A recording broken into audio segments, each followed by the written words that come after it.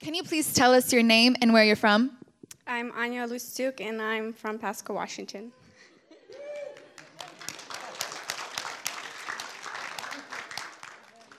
And Anya, can you please tell us the testimony that you have to share with us today and the problem that you were having before? Last month I got married, and before I got married, um, a week before, I started having this really sharp pain on my side, and um, it was really painful. So I went to the doctor, and um, and bef- before I went to the doctor, I, I thought it was um, like a pinched nerve or something. Um, I had pinched nerves before, but this was really, really painful. It was kind of like in the nerve and hitting my hip bone, not really topically. So on Friday, I was going to the doctor, and he said, I have shingles. And I told him, I'm like, no, I don't. Um, I don't accept it. And he's like, I'm getting married next. I told him, I'm getting married next week. I cannot have this. Um, it's, it's not right. He's like, well, you're going to have it for four weeks. And I just straight up told him, no, I won't the follow uh, this was on Friday that um, I went to the doctor. On Sunday we were having the prayer line. So at the office I'm sitting there and I'm in so much pain. He prescribed me um, medication. Um, and I was taking over-the-counter medication, and then I was taking narcotics. And at one point, I think I was taking five different medications because this was shingles is really um, kind of a nerve block pain, and it's a really sharp pain, pinching like a needle pinching constantly into your hip bone or in a certain area of your body. Um, so, as a result of taking so many pain medications, I ended up having stomach ulcers, and that's like a really burning, sharp pain in your stomach where you can't eat, you can't drink, you can't sleep, you can't just really do anything. Um, so that Sunday, I came to church and I was in a. Um, I usually help for the prayer line. During worship, I was standing and I was worshiping, and I was worshiping God like I had no pain, even though I was still having a lot of pain.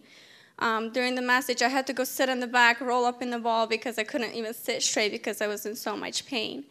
So finally, the prayer line came, and I was the first one in the prayer line, and um, the evangelist sprayed the anointing water over me and prayed for me.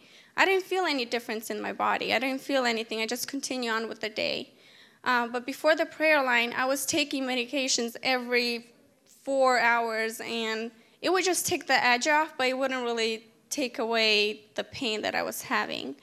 And I had trouble eating, I had trouble sleeping, I had trouble doing anything. And here, a week before my wedding, I'm trying to prepare for the wedding, and I have to deal with this. Um, so after the prayer line, um, I still had the pain. I was still dealing with it, but that was the last day that I took the pain medication.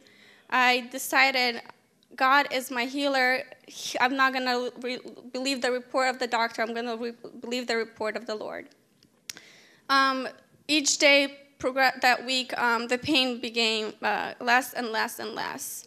Um, and I think Wednesday or Thursday, I had no pain already. I still had the rash, but it started to go away. And the rash is kind of like um, boils, really. It's kind of like blisters on your skin. So before the prayer line, like the clothes touching it, it was just really painful walking, sitting, anything.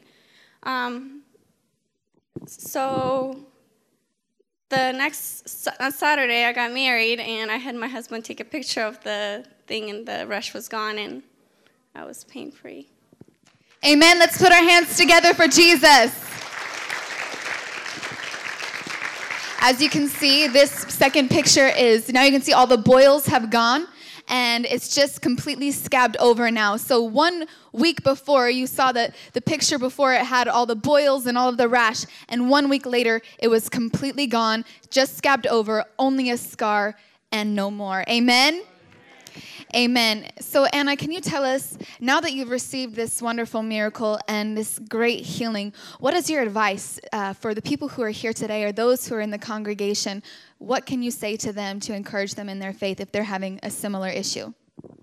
You know, it was a fact that I had shingles. Doctor did tell me I had shingles. It wasn't something that, oh, you just feel it? It's not, you know, it's not there. It was there, but I choose to refuse what the doctor told me because I know that God is my healer and I choose to li- believe in the report of the Lord. So, like you today, you might have a sickness, you might have an issue that you're dealing with.